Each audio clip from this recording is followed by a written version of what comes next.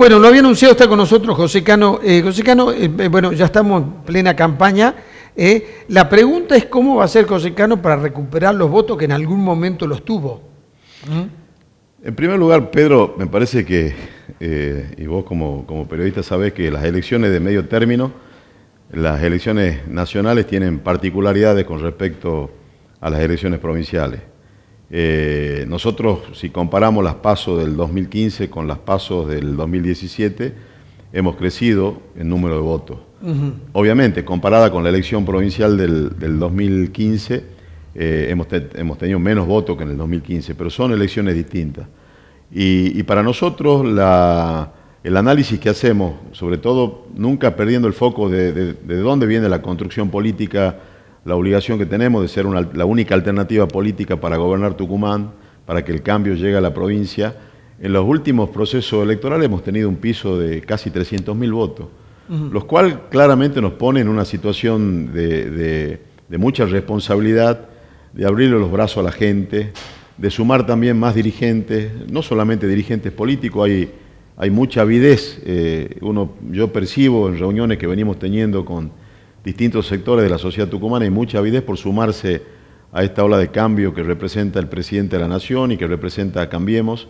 Y me parece que hay que, hay que hacerlo sin, sin, con, con, total amplitud. Eh, la elección de, las PASO, obviamente, también nosotros nos hicimos cargo de, de, que arrancamos un poco tarde, por ahí no convocamos a toda la dirigencia, hay lugares que lamentablemente no pudimos llegar, hoy lo estamos haciendo, hoy recorrimos ya con Beatriz los 17 departamentos de la provincia.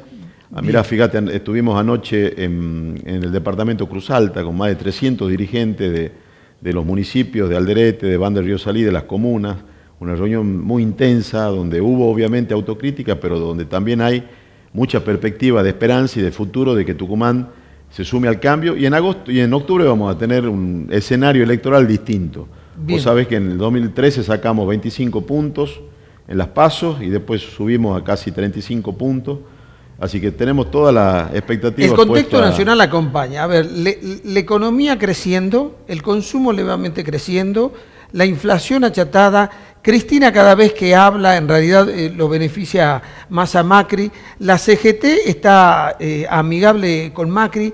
Bajó el déficit fiscal primario, o sea, el contexto acompaña. Se espera que Macri gane en Capital, que gane en Córdoba, gane en Mendoza. O sea, hay un contexto nacional que eh, acompaña. El contexto acompaña, pero más importante que el contexto acompañe, que, obviamente eso significa que la gente está mejor. A mí me parece trascendente algo que los vecinos, cuando uno camina la capital o el interior, nos dicen. Eh, cuando muchas de las cosas que hoy están ocurriendo eh, fue lo que el presidente planteó en campaña y, lo que a lo cual y a lo que el presidente se comprometió cuando asumió el 10 de diciembre del 2015. Entonces comienza a tener, a tomar dimensión esta idea de que esta vez va en serio, de que esta vez lo que, lo que como gobierno nos comprometimos lo estamos cumpliendo, de que no era un anuncio de campaña que íbamos a recuperar el tren, de que no fue un anuncio que tenía que ver con, con un anuncio tal vez desde el punto de vista demagógico tal vez, eh, o, a lo que veníamos acostumbrados, anuncios de cosas que no ocurrían. Cuando el presidente estuvo, Pedro, acá en Tucumán, casualmente, en Yerbabuena, y estamos en el siglo XXI, Pedro, y un presidente vino a Tucumán a anunciar que uno de los objetivos del gobierno nacional era hacerse cargo de los problemas de la gente, de la gente que hoy, en pleno siglo XXI, no tiene cloacas, de la gente que hoy, en pleno no tiene acceso al agua potable. abre un caño en su casa y no tiene agua porque no tiene agua potable. Entonces, ese anuncio se hizo en Tucumán. Entonces, hoy el presidente lo está cumpliendo. Lo está cumpliendo acá en Tucumán con obras importantes como la que vamos a visitar con el ministro Frigerio el jueves, la ampliación de la planta de tratamiento de las talitas que beneficia a las talitas Tafi Viejo y a Villa Carmela, la obra que está por empezar de planta de tratamiento de Concepción para 70.000 habitantes, Pedro uno de los municipios más importantes de Tucumán, no tenía planta de tratamiento vamos a, Vamos a una provincia con mejor calidad de vida, a una provincia más justa, a una provincia más igualitaria. Ahora el problema es qué pasa en Tucumán que el resultado electoral eh, no, no se refleja en esto. Con las obras que hace el gobierno nacional. ¿Qué explicación? Hay, hay varias. En primer lugar, hacernos cargo también nosotros de los errores que podemos haber cometido. A usted se lo cuestiona porque dice que no hizo tanto territorio como él tendría que hacer y que además dejó que la construcción del relato la haga el gobierno y usted salió a hacer el contrarrelato. Pero el relato viene, el relato, digamos, viene instalado en la Argentina de, sobre todo de la última década y nosotros somos distintos. Nosotros no nos empoderamos de las obras, digamos, las obras que está haciendo la nación son obras para la gente. Y la gente, eh, el relato del oficialismo tucumano se cae a pedazos cuando eh, el gobernador critica al presidente y al otro día le agradece una obra como la obra del aeropuerto. Hoy, Pedro, nosotros tenemos la pista más importante de la Argentina. Sí. Y eso, digamos, puede tener valor como tucumano para que inflemos el pecho y digamos, bueno, este, nos sentimos orgullosos de tener la pista más larga de la Argentina. No, no. Pero es una invitación, Pedro, es una invitación como tucumanos a volar. Sí. No a volar, a subirnos a un avión y volar, que obviamente tiene importancia. A también pensar que como tucumanos podemos hacer las cosas de otra manera. Porque ese mismo día que el presidente inauguró la pista, ocurrieron, ese día y, a las 24 horas ocurrieron dos cosas muy importantes para, para marcar... Eh, el contraste de lo que vamos a discutir en octubre. Por eso yo digo que son elecciones distintas. En primer lugar, inauguramos una pista que se construyó en un tiempo récord y que se construyó con los precios que estaban establecidos que se iba a construir. Sí, hay que contarle a la gente que la empresa terminó antes. Bueno, terminó antes, pero aparte de eso, ese mismo día fuimos a la circunvalación. El presidente quería eh, pasar por donde habíamos habilitado la circunvalación de la Ruta 9. Obra anunciada en el 2009, que comenzó principio del 2012 y que en el 2015, cuando nosotros asumimos, en diciembre se había ejecutado el 20%. Obra que empezó con un presupuesto de obra de 150 millones y que terminó una obra por más de 400 millones de pesos. Y la terminamos nosotros, digo, en tres meses, en tiempo y forma, en tiempo récord, con los valores que se habían establecido, se terminó una obra trascendente como la pista del aeropuerto. Durante casi 8 o 9 años en Tucumán, durante la época de la gestión del kirchnerismo no se pudieron construir 10 kilómetros de autopista y se pagó cuatro veces más. Y al otro día ocurrió también un hecho que no es menor.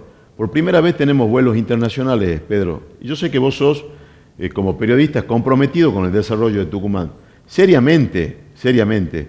Nosotros trajimos a un funcionario de Romero de Salta, que había, había sido exitoso en materia de turismo, a Tucumán, pensando que la persona cambia la política.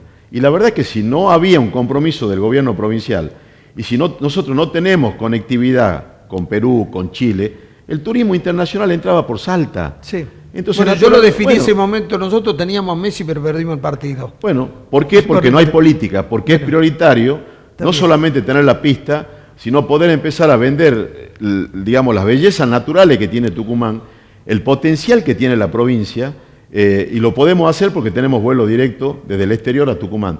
Pero aparte hay otra cuestión que está ausente en la política tucumana y que nosotros también creemos que es, eh, nos interpela hacia el futuro. El presidente no asumió el 10 de diciembre y dijo, a ver, vamos a hacer una pista en Tucumán. Eh, a ver, vamos a hacer una planta de tratamiento, de toma de agua potable y de conexiones en, este, en el impenetrable chaqueño. No, había una planificación habíamos, el presidente ya había tomado la decisión que si llegaba al gobierno iba a invertir, como no se invirtió nunca, 22 mil millones de pesos en los aeropuertos, en los nueve aeropuertos del norte y en 22 aeropuertos de la Argentina. Y eso está ocurriendo. Entonces, cuando la gente empieza a ver que esta vez va en serio, el relato de los que se quieren apropiar de las obras, que las obras son de la gente, o los que dicen que hay que defender a Tucumán de Buenos Aires, o sea, creando un muro que no existe, porque de lo que se trata en todo caso es de tendernos las manos y de trabajar juntos. Porque la gente que no tiene cloaca, la gente que no tiene agua potable, la gente que no tiene trabajo en Tucumán, este, no se quiere defender de Buenos Aires. Lo que la gente quiere es que se le resuelvan los problemas. Y el gobierno nacional, el presidente Macri, está comprometido en resolver problemas que naturalmente lo tenían que haber resuelto las provincias. Bueno. Como la cloaca, el agua potable, como la seguridad. Sí, sí, sí. Y además hay, todavía hay, ranchos y gente que no tiene letrina y, es una tarea pendiente, ¿no? Entonces, para finalizar, ¿usted eh, confía que el resultado electoral el 22 de, octubre va a ser diferente? Nosotros confiamos en la gente. La gente nos presta el voto. Y nosotros tenemos que trabajar para que muchos tucumanos que todavía tal vez no están decididos, eh, nos acompañen con el voto. Por eso les pedimos que nos acompañen con el voto, porque Tucumán se tiene que sumar a esta, a esta ola de cambio que representa el gobierno nacional y que ya se dio en 13 distritos. Y Tucumán no puede quedar afuera de ese cambio. Y Tucumán, necesariamente, los tucumanos tenemos que entender que el 22 de octubre se juegan dos modelos.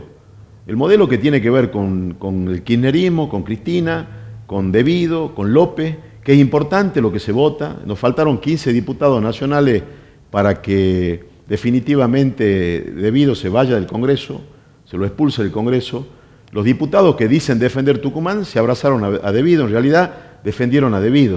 Y vos sabés, Pedro, porque eh, yo he sido senador de la Nación, fui autor de la coparticipación del impuesto al cheque con mi bloque, en ese momento se transformó en ley en el año 2010, la expresidenta lo vetó y no hubo absolutamente ningún senador ni diputado nacional del, Frente para la Victoria que defienda el federalismo.